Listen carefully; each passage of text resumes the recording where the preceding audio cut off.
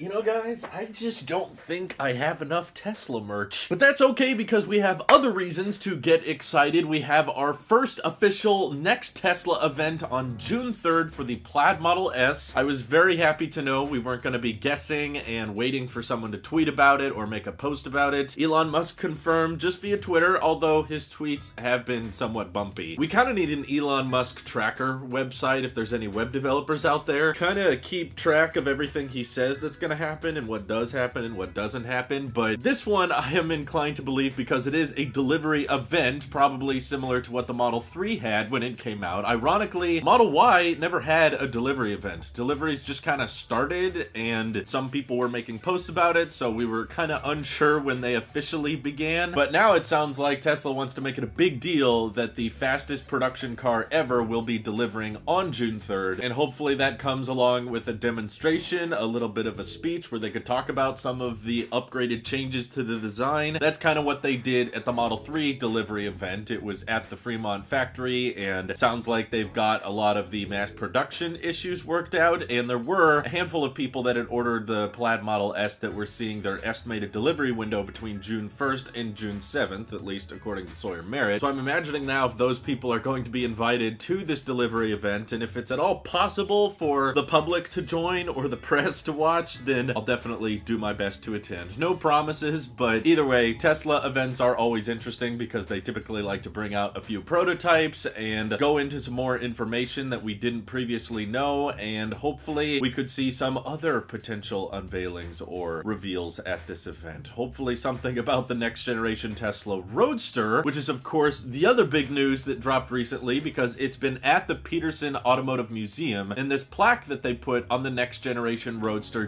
detailed how the tri-motor powertrain is going to enable just the base model of the Roadster to do 0 to 60 in 1.9 seconds. Probably rollout subtracted though, so let's be realistic. But on top of that, the reason most people are talking about the Roadster again is because in this plaque, they say that the SpaceX package is happening and having those cold gas thrusters built into the back of the Roadster will enable it to achieve an insane 0 to 60 time of 1.1 seconds. Now, of course, there's some speculation as to whether or not the Petersen Automotive Museum just decided to make this plaque up and just post the specs there for the sake of we read something online that said the SpaceX package would make it really fast. And at the time of recording this, no one from Tesla, especially not Elon, has discredited that 0 to 60 time. And even if that 0 to 60 time is inaccurate or not close to what the actual SpaceX package will achieve, it's worth noting that Musk mentioned several times on podcasts and in interviews that the base Roadster would do 0 to 60 in 1.9 and that the SpaceX package would go much faster. He's been quoted by saying the Roadster would do a few things that are considered unfair, and I think the cold gas thrusters is absolutely one of those unfair advantages in those 0 to 60 time tests. So I'm actually inclined to believe it. There have been a few videos that have suggested this is possible in the past. It's just interesting to see a potential plaque or statement that could actually be directly tied with Tesla or someone who knows more about the Roadster than we do. So here's hoping that we could actually get a next generation Roadster at this event now because Elon Musk did mention in response to someone's tweet about the Roadster that the production model would look a bit different because the prototype that we're all looking at now is still from 2017, right? They were not even building 4680s back when they built that Roadster. So I think there's a good chance that the acceleration, the range, the battery capacity could all be a bit higher than what Tesla was originally saying it was going to be way back in 2017. Now, Tesla is not always spot on with their timelines, we know that, and oftentimes their vehicles may cost a little bit more than they were anticipating, but when it comes to acceleration and range and quarter mile times and that kind of thing, the production model almost always beats the prototype. And I mean, come on. On June 3rd, we're going to see first deliveries for the Plaid Model S, and that's supposed to be achieving a sub 2 second 0 to 60 time with rollout subtracted, and that's a four-door sedan, much, much larger than the Roadster, so it only makes sense that a vehicle much smaller than the Model S, probably much lighter with the same amount of power, potentially a larger battery pack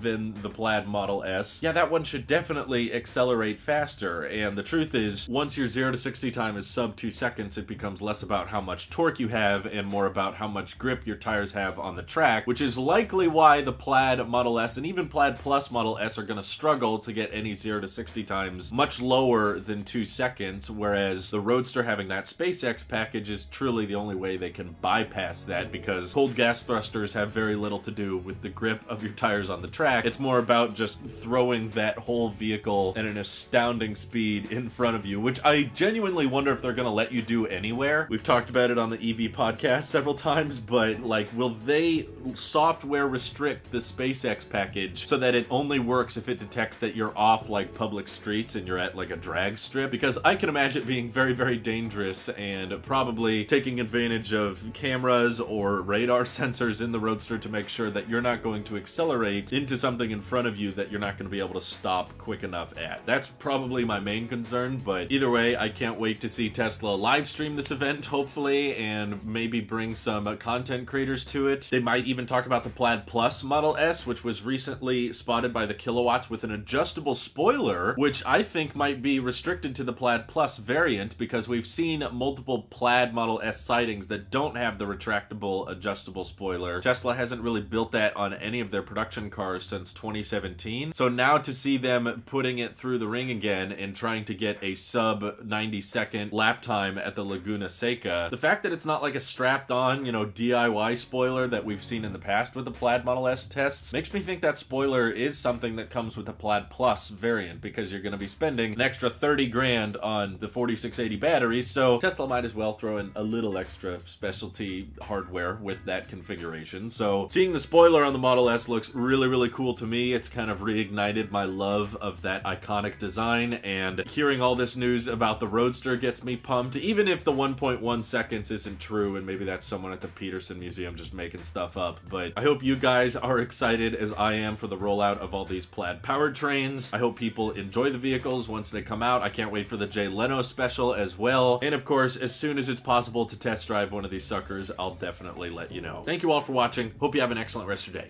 Take care.